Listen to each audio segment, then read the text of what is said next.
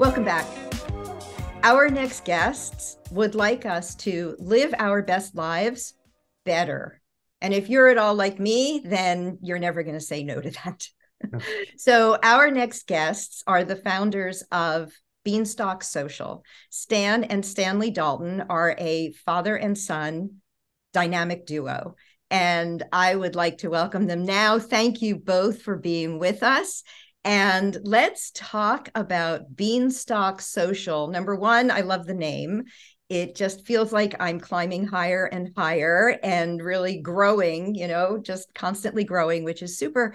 But you guys have taken a whole new approach to what we've come to know as social media. So I'm so excited to hear about how you got here and where this is going. Thank you, Lauren. It's good to be on your show, and thank you for having us today. I think Stanley may start off today, maybe talking, to, uh, telling you a little bit about what Beanstalk is exactly, and then maybe I could jump into maybe the inspiration, like you kind of mentioned there at the beginning. So, yeah, no problem, and thank you for having us as well. Um, so, Beanstalk is a life experience platform.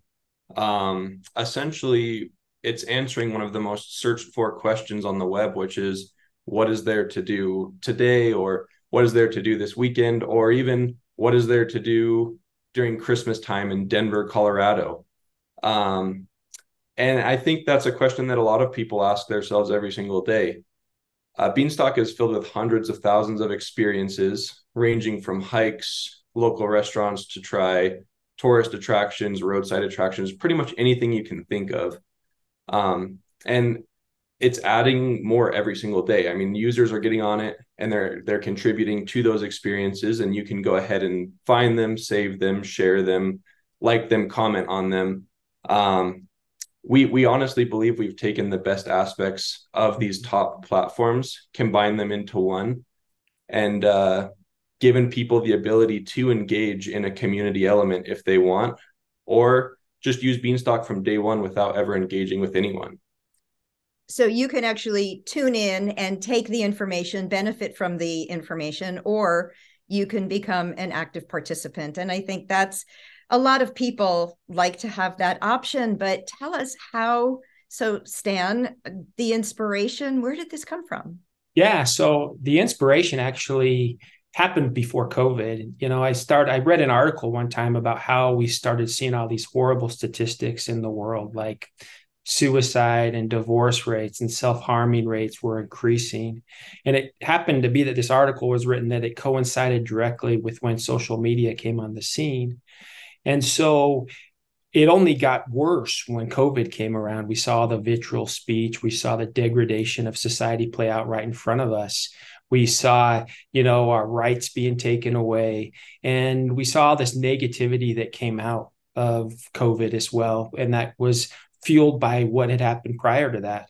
And so the thought came to our, to my mind is like there had to be a better way. There has to be a better way that can promote promote positivity in a person's life something a way that would allow someone to find value in the things that they're doing and to be, have a safe place to showcase that and so really the inspiration of beanstalk came with all those things in mind and trying to build the greatest platform that would allow a person to participate in all those great things that life has to offer and to showcase it in a very safe environment. So that was the inspiration behind Beanstalk.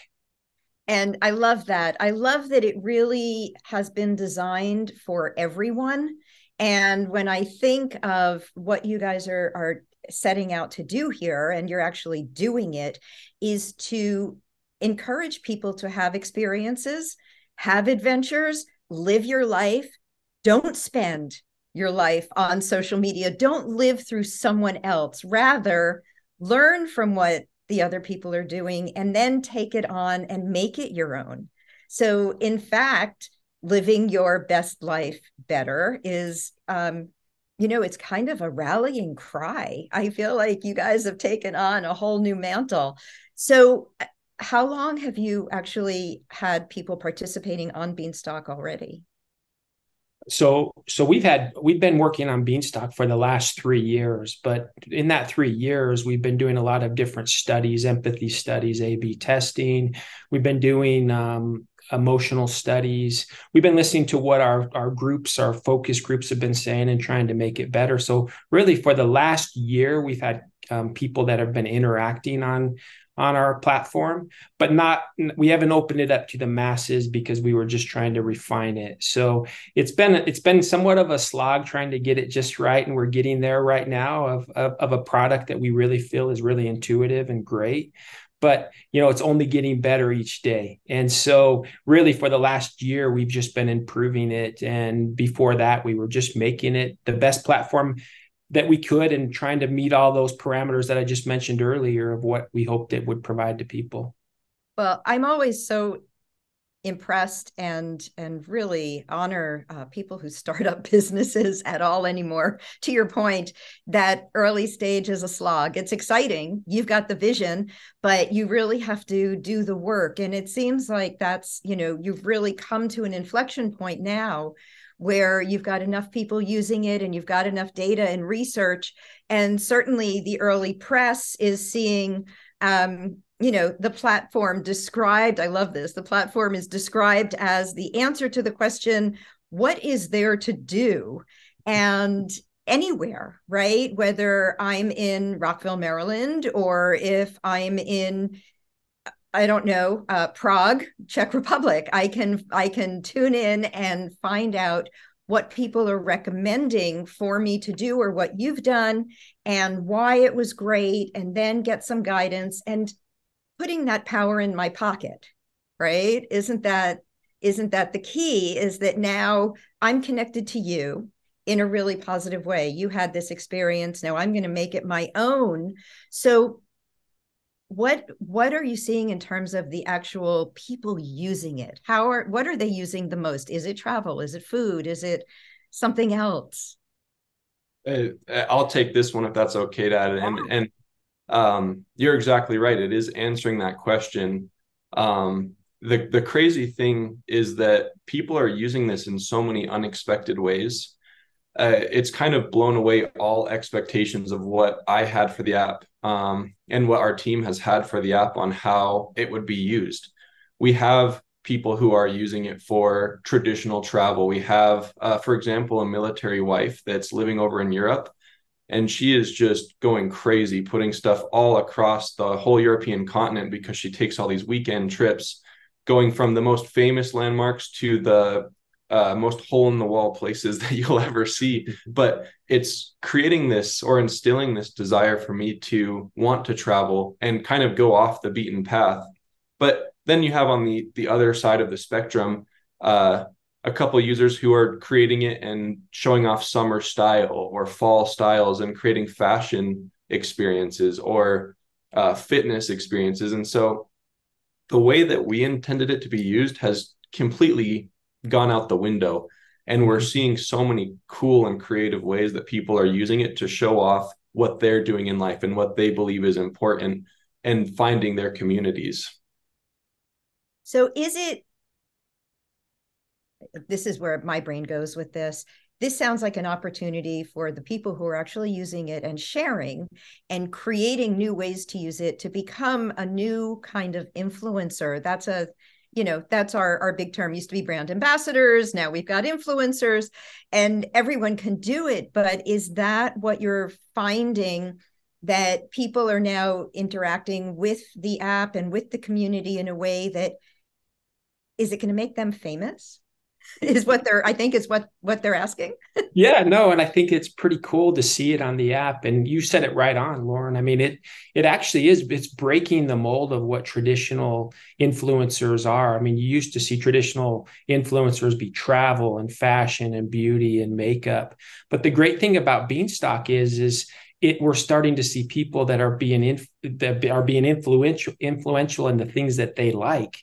You know maybe just reading or the type of books they read or a type of dog breed that they raise. And so we're seeing like we're seeing that people are able to find value in the things that they like to actually do, which is kind of a, a, different way of thinking than what it was in the past with traditional social media. So, a person on Beanstalk can truly find value in even the things that they like to do and not have to feel the pressure about how they're looking or where they're traveling to or whatever. They can actually find the value in those small things or those big things in their lives that they that they like to do, their hobbies and the things. So yes, we are seeing that right now on Beanstalk, which makes it even more exciting to me because that's what we were trying to accomplish in the first place is that that allow people to find value in the things that they're doing in life and be able to showcase it in a very organized and safe manner and a reason now to do it.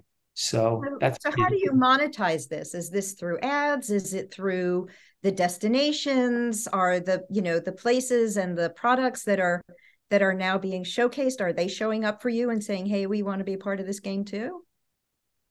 Yeah 100% um, we have traditional channels. We have the ability for businesses and influencers and commercial accounts to advertise their content that's on there uh, to have impression space. They can also boost it and then they can also sponsor categories or they're like hashtags on Beanstalk.